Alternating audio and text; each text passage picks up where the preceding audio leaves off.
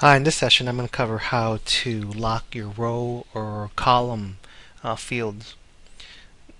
This is useful in uh, tables where you have large data sets and let's say for example you want to scroll up and down but you want to keep the header field visible. So in our example let's say we scroll down and we see that our header field up here country name, country code, etc. and these years aren't viewable or if we wanted to uh, scroll across and we wanted to keep the country names viewable but as you can see we can't do that because this is a large table.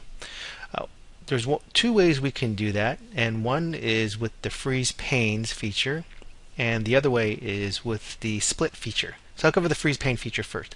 So what we would do is we go under view and under the uh, window area here we have this freeze panes option. Now if we click that, we can freeze the panes, freeze the top row, or freeze the first column. So if you just wanted the first top row to be viewable, as you scroll down, you can just click on that, and you can see here we can go up and down, and we see the first row is frozen.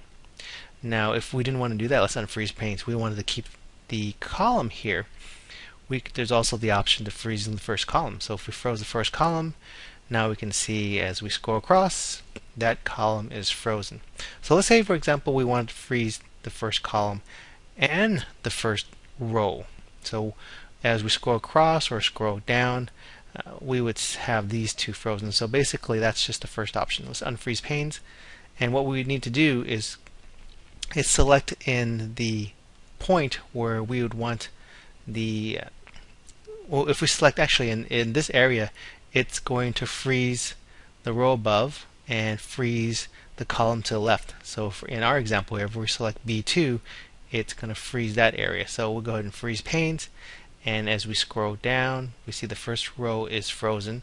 As we scroll right, we see that column is frozen. So let's unfreeze panes. So basically, you can you can actually select any cell around the table and wherever you want wherever you've selected it the row above and the column to the left is frozen so for example I've selected uh, let's say for example I select C4 here and I go freeze panes and is actually frozen the rows above and the row and the columns to the left so that's let's not freeze that so that's how you would lock the rows or the columns using the freeze pane feature the other feature is called the split feature. This little doohickey here, this, this little icon here. And what this does is it basically it splits the screen. Very similar to freeze panes, but you have some other options. Whoops.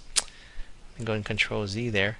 You have some other options where you would be able to scroll within those uh, locked rows or columns. So let me go through an example. Let's say, for example, uh, I'll go to B2 and I want to go ahead and split there. Uh, same, same, the same example if I wanted to freeze panes in a way. So if we go into the, we go into the split, what it's going to do is it's going to split these, split our view here. And one interesting thing here with the split is you're able to actually move it around.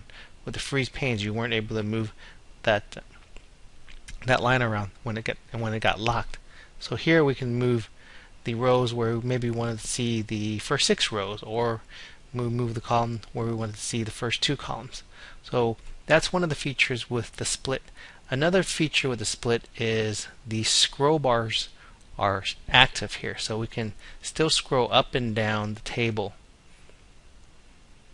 as you can see here I can scroll from the rows and I can scroll from the from the columns Another interesting way, another way to actually use this split feature, let me turn it off, is there's these split boxes here to right here uh, which will let you split.